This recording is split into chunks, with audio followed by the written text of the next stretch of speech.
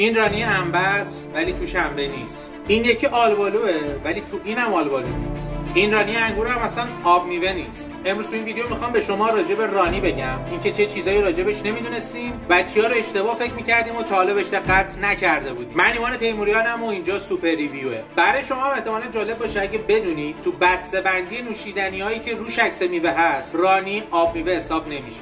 رانی به خاطر درصد کنسانتره پایینی که داره یه نوشیدنی میوه است. هیچ جای محصولات رانی شما نمی‌تونید کلمه آب میوه رو ببینید. چیزی که همه ما فکر می‌کنیم و توقع داریم اینه که توی رانی انبه میوه انبه باشه یا توی رانی آلبالو میوه آلبالو ولی اصلا اینجوری نیستش.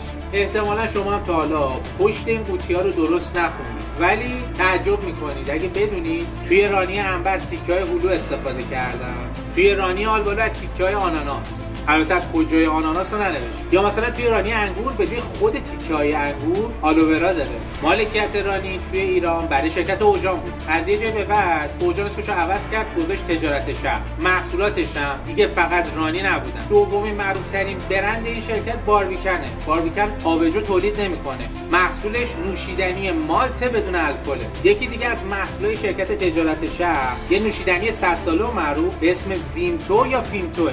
از همه اینا که بگذریم اگه اینجا روی قوطی رانی رو نگاه بکنید یه علامتیه که ممکنه خوندنش برای شما سخت باشه. اینجا نوشته کاوه و این قوطی مربوط به شرکت قوطی سازی کاوه. چهارمین برند از تجارت شرقه اکثر قوطی که تو بازار می‌بینید کار دست دوستان تو قوطی سازی کاوه است. مثلا این نوشابه پپسیه ولی قوطیشو کاوه تولید کرده. این انرژیزا لایفه قوطی اینم کاوه تولید کرده. این فانتا این نوشیدنی لاکیدورم قوطیشو کارخونه کاوه درست کرده که برای شرکت تجارت شرق و مرتبط با رانی. رانی معروف ترین نوشیدنی میوه‌ایه که توی قوطی و توی ایران داره به فروش میره.